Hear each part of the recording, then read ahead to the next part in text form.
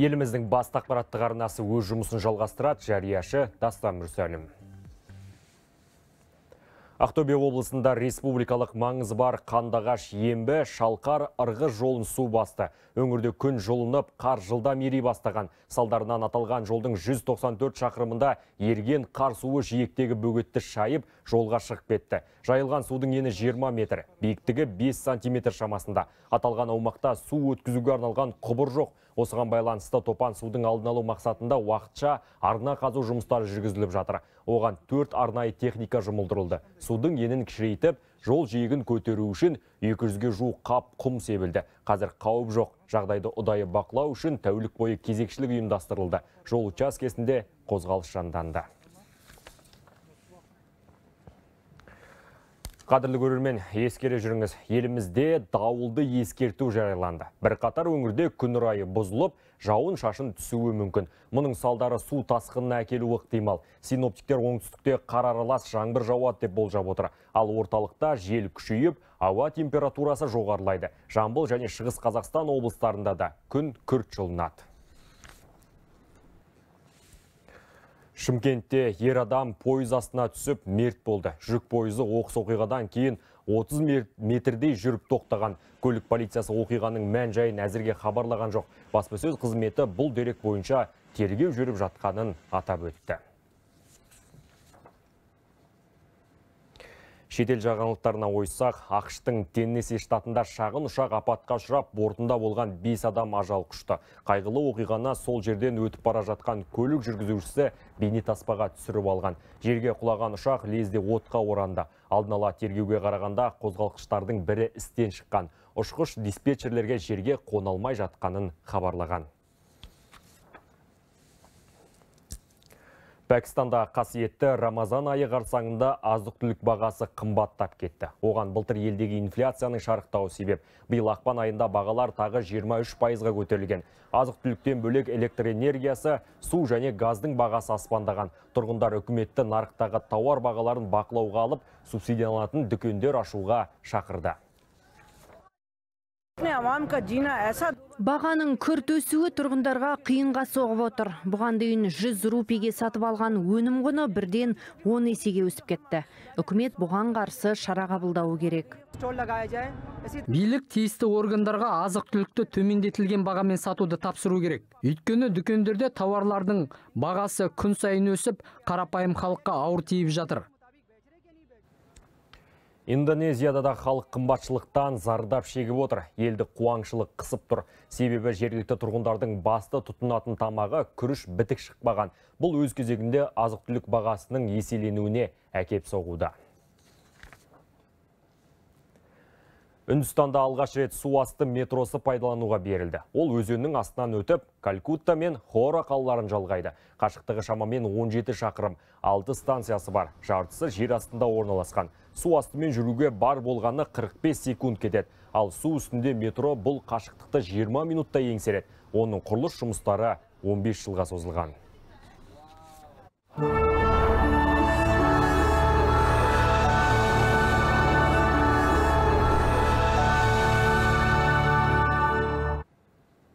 Енді мерекелік тақырыпқа ойсайық. Ақтөбе облысының өндіріс орындарында 100 мыңға жуық әйел еңбек етеді. Жұмыстың ауырлығына қарамастан ерлермен иық тірестіріп жүрген қыз келіншектер құрметке лайық. Қаладағы кәсіпорындар мен мекемелерде мерекелік шаралар ұйымдастырылып, әйелдерге сый құрмет көрсетілді.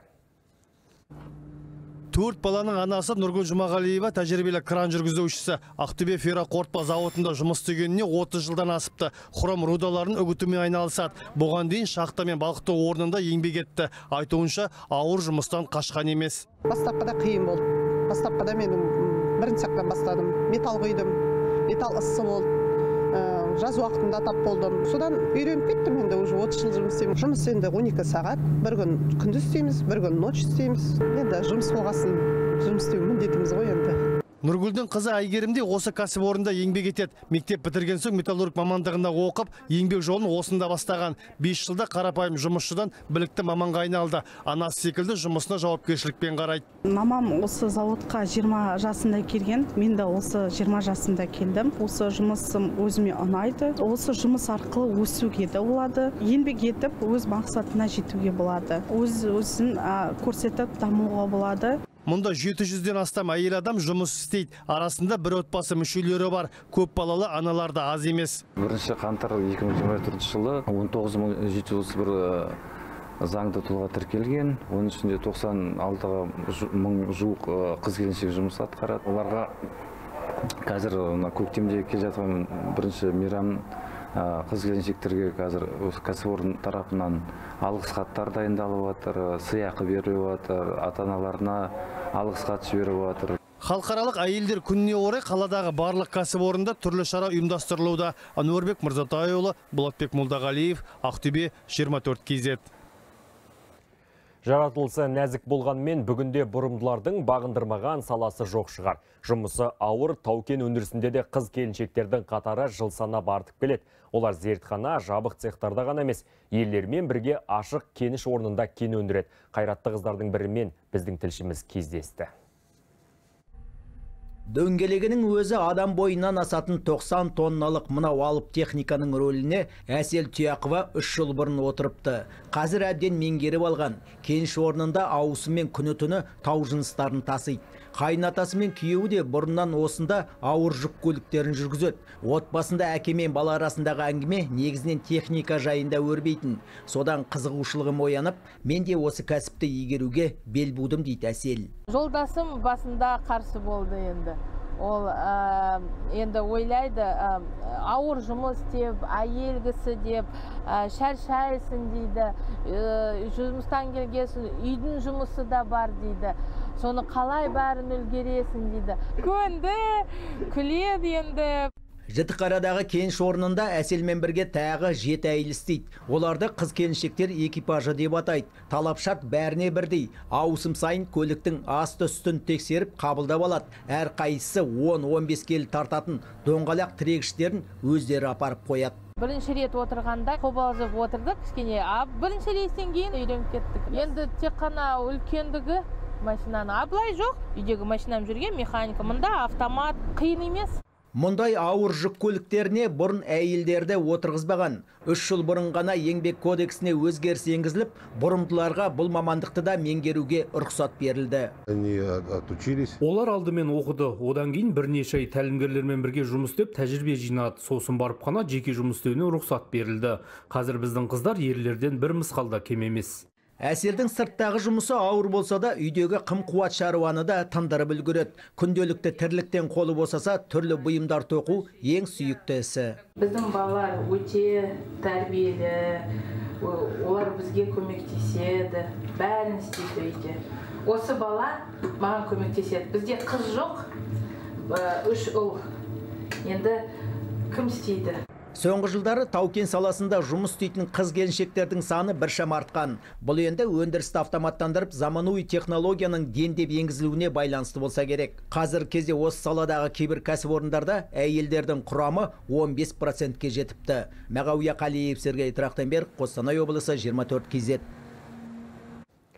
Астанадағы арнайы жасақтың қыздары биыл 10 шақты операцияға қатысып 30-дан астам адамды қолға түсірген. Олардың қауырт қызметімен жасаған ерліктері көп жағдайда айтыла бермейді. Бұл мемлекеттік құпия. Әріптесім Мерей Қанапия темірдей тәртіпке бағынған аруларымызбен тілдесті.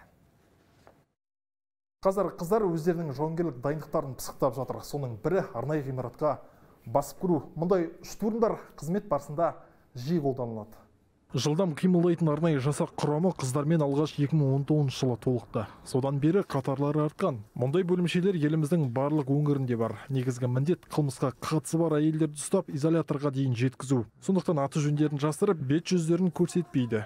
Оказываем содействие медицинским учреждениям. Сондай ақ медициналық мекемелерде жатқан аса қауіпті қылмыскерлерді күзету қоғамдық тәртіп пен спорттық іс шаралардың қауіпсіз етуіне біз де жауаптымыз. Сондықтан күнделікті атыс жаттығуларды мен жекпе жек түрлеріне ерекше ынта қойып дайындаламыз. Қыздардың өмірі күнделікті қауіп қатерге толы шұғыл хабарламаларды аяқ астынан келеді. Алда не күтіп тұрғанын өзің білмейсің. Сондықтан іріктеуде бойы 170 сантиметрден жоғары заң тұрғысынан білімі бар азаматшаларға басымдық беріледі. Және ең кемі спорт шеберлігіне үміткер болу керек. Көптеген нәрселерге үйрендік. Мен негізі неден келгем? Гражданкадан келгем сырттан сразу осы осы мамандыққа тапсырдым. Өттім. Сол. Бірінші іріктеуден иә иә бірінші іріктеуден өттім. Өзі қай спорттан белбеу күрес дзюдо күрес самбо күресінен ә, спорт шеберіне үміткермін. Иә көп адамдарға айта бермейміз осы салада жұмыс істейтінімізді. Үйде басқашамыз жұмыста басқашамыз. Я с открытия. мен взвод ашылғалы бері осында жүрмін. Бес жылдай болды. Қазір бөлімше командирі болып қызмет атқарамын. Жұмыстағы қиындықтарға да үйреніп кеттік. Сыртымнан қатал болып көрінгенімен көшеде танымай қалуыңыз мүмкін. Күйеуім екі балам бар. Олар мені әрқашан қолдайтындарын айтады. Азаматшалардың елу пайызы бесік тербетіп бала тәрбиелеп отырған ана. Соған қарамастан оларға қойылатын талап ерлерден кем түспейді. Жылдам қимылдайтын арнайы жасақ болғандықтан ә, біздің ә, батальонда қыздарда бізбен бірге арқа сүйеп қызмет атқарады. Олардың ә, бізде қызметіміз оңай болмағандықтан ә, олардың осы қызметке төзіп жүргендігі өте негізі иә ойланарлық жағдай. Қызмет оңай емес. Ә, ол кісілердің де отбасылары бар. Тапсырмаларды да бізбен қатар орындап жүр олар. Иә осы сәтті пайдалана отырып келіп жеткен сегізінші наурыз халықаралық әйелдер күнімен құттықтаймыз. Қызметтің қауіптілігіне қарамастан қыздарды біріктіретін бір ғана ортақ мүдде бар. Ол отанға деген адалдық пен жұмыстарына деген жауапкершілік. Мерей канапе артур гашников 24 кз. Үш аттап секіруден ел ел рекордын жаңартқан спортшы қыз қазір өрт сөндіріп жүр. Құмға қарғу бойынша 10 метр 75 сантиметрді бағындырған қызылордалық әсел Жадырасынова ептілігі мен жылдамдығын тілсіз жаумен күресуге қолданады. Жеңіл атлетикадан радиотелефония саласына ауысқан әсел өрт сөндіру құтқару спорты бойынша да жетістіктерге жетіп жүр.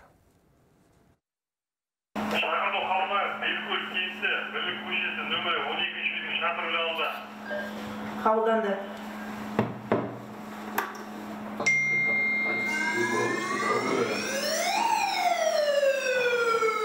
желаяқ қыздың қазіргі жұмысы да шапшаңдықты қажет етеді. Радиотелефонисттің қызметі шақырту қабылдап дабыл түймесін басу ғана емес өрт шыққан мекенжай мен аумақтағы өрт сөндіру гидрантын анықтап сол аймақтағы электр және газ желісінің орналасуы жөнінде құтқарушыларға шұғыл ақпар беру де әселдің міндеті. Одан бөлек жедел жәрдем полиция және жергілікті әкімдікпен байланыс орнатуға да диспетчер жауапты. Әсел жұмыс істейтін бөлім қаланың индустриалды аймағында орналасқан маңызды бекет болып саналады.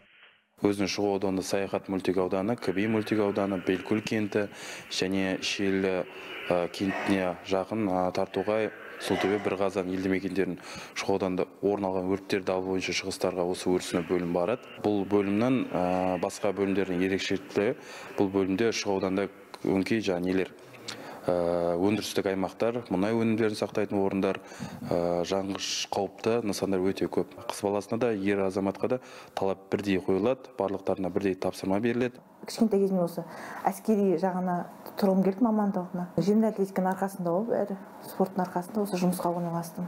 Өзіме ұнайды өзімнің жұмысым. Ер балдарымыз жақсы сыйлайды сегізінші марттарда мейрамдарда әйтеуір сыйлықтар беріп қуантады. Құрмет көрсетеді қолдайды. Сегіз жасынан бері жеңіл атлетикамен шұғылданған әсел жадырасынова өрт құтқару спорты бойынша ел чемпионатының бірнеше дүркін жүлдегері. Облыстық қыздар командасымен күні кеше өскемендегі жарыстан оралды. Алдағы сәуірде елордада қос сайыстан іріктеу жарысы өтеді. Құтқарушы арулар ұжымдық көрсеткішті жаңарту үшін жаттығу жұмыстарын күшейтті.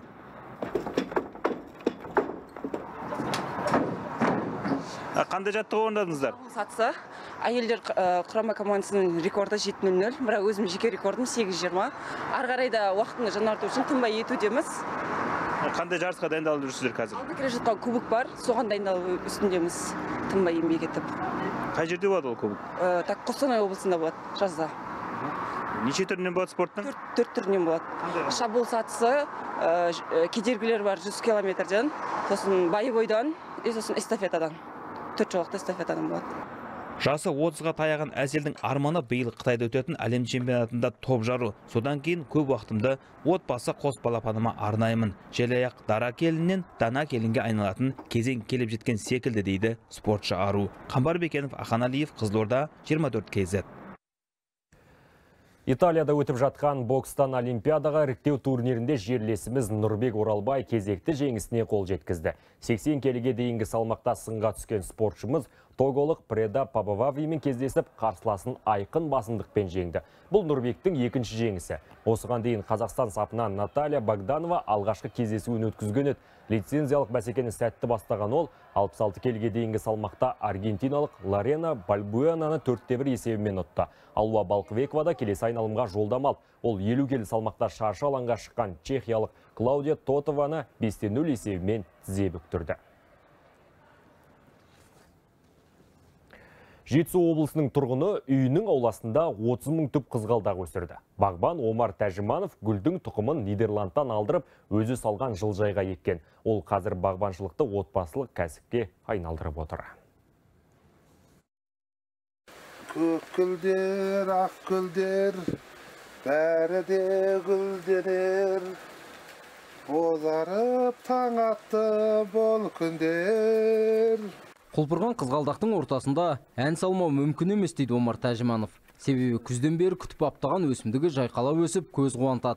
Бағбан жұпар иісі аңқыған гүлді енді сатылымға шығармақ. Осы гүлді 8 марттан кейін сатып бітірген кейін келесі жылғы планымызға жаңа асимметрия деген гүл егуге планымыз бар. Жетісу халқын осы сол гүлдерімізбенен, осы түлпанымызбенен қуанта берейік деп жатырмыз. Көксу ауданының Балпық би ауылында тұратын отбасы бағбаншылықпен айналысу үшін жылыжай салды. Шетелдік қызғалдақты егіп арнайы технология негізінде күтім көрсетті. интернеттен қарап адамдардан сұрай үйрендік өсіріп баптау да оңай емес күндіз түні отын жағамыз бір қалыпты температурада ұстау қажет Тәуекелге бел буған бағбандардың еңбегі ақталды. Олардың жылыжайында қазір гүлдерді жинау, сұрыптау, орау жұмыстары жүргізіліп жатыр. Пальчикіде 20-дан саламыз.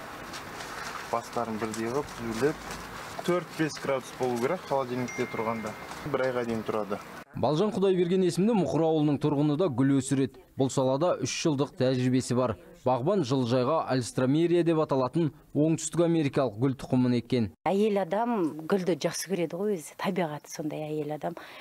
Жаңағы бір тал шоқ гүлін сыйласаң да ол кәдімгідей мәз болады.